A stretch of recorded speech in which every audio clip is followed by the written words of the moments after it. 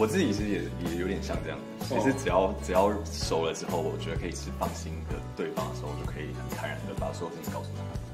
然后那时候我们也是聊了很多，虽然一开始也是很就是不知道不知道从哪个部分开始聊，然后就很像是见，我觉得很像网友的感觉。哎，蛮像的，蛮像的。对，因为我们真的很不熟，然后是直到我们有那个有一个环节是就是要即兴表演，然后那时候有抽签，然后我们就抽到一个是看不见跟听不见的。你是看不见还是听不见？我是，哎，你是看不见，他看不见。哎，对我我我是我是看不见，然后你是听不见，对，听不见。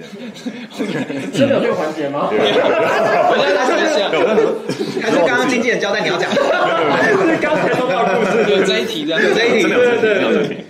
然后他因为这个这个题目其实很快就让我们两个就是呃，因为我们没办法用语言去沟通，然后我们就是只能用心去感受彼此，对方给了一些眼神，或者是肢体上的接触，然后去感受对方。我觉得那个东西是需要呃有一定信任感才做得到的。他们当下就是彼此的眼睛跟耳朵，因为毕竟失去了五感，你很多东西都会放大，只能信任对方，只能信任对方。那你有信任他吗？有啊，他就是我的眼，你是我的眼。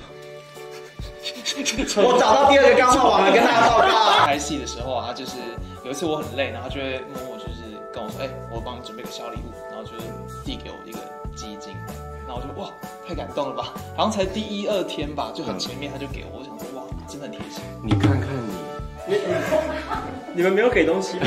我跟他第一天排练的时候，我就带咖啡给他，很温暖呢、直接打枪我。我不喝咖啡，收，他连收都不收，我正常会收一下吧。他告诉我说：“哎、我不喝，下次不用买。”收都不收哦。因为他可能在旁边已经排练好，要如何把咖啡拿给你，我想说不用破费，还是你也想喝鸡精？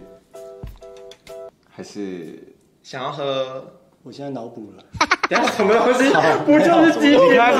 是不是很干？你们的吻戏啊，超级多，你很会亲哎、哎，主持是谁？你那个你是谁？林尚豪啊，你是不是口腔期不满足啊？我觉得你蛮会亲的、欸，这句话 怎么了吗？就是虽然这样讲有点有点有点丢脸，但是我我也觉得我蛮会亲的。我想知道你们第一颗吻戏的时候，嗯，你对自己的表现，你有紧张或者是害怕表现亲吻这件事情吗？好像还好，就觉得应该不会太难吧。我跟你讲，自己自己觉得很会亲的，通常都要问那个被亲的人。对，这样问我不准。你有觉得上啊很会亲吗？如果用一种事物形容他的吻，你会怎么形容？我说，没有啦。他的嘴唇蛮软的，然后技术还不错。等一下，为什么你那个他有点有有一技术有点勉强对有点勉强。但我们后来真的是越来越渐入佳境，就是渐入佳境就是亲吻这件事情变得自然，然后嗯很很常会发生。就已经下戏了，已经喊卡了，他继续亲。继继继继续暖身这样。他们每一个亲吻都在排练呢、所以私底下亲也是为了排练。我跟你想到一件很好笑的事情。太好了，我们想要每秒都讲一些故事来。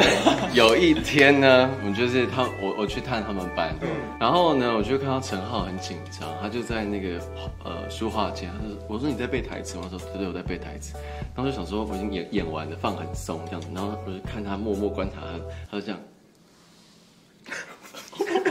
他就对空气这样子，我就想说，哇塞！哎我真的没有，我不知道这一出，这一出我不就是看到看到，没有，然后我就说，我就说，哎，我就说，陈浩你在干嘛？他就这样，哦，没有啊，没有啊，然后就就就是搞母羊座也是蛮八卦，然后就立刻就，他他在对空气练习，没有啊，他在想象可能林尚豪在他对面吧。但是但但但我觉得紧张的时候，其实我我蛮感谢上好的，因为我们有时候就是比较高压的状态你给我说回那个想象的表情。因为他他是一个可以让你安静的，然后他可能就会带着我，就是因为他是读戏剧的嘛，然后他有一些可以放松的秘诀，秘诀。你说秘诀对你们小佩是不是？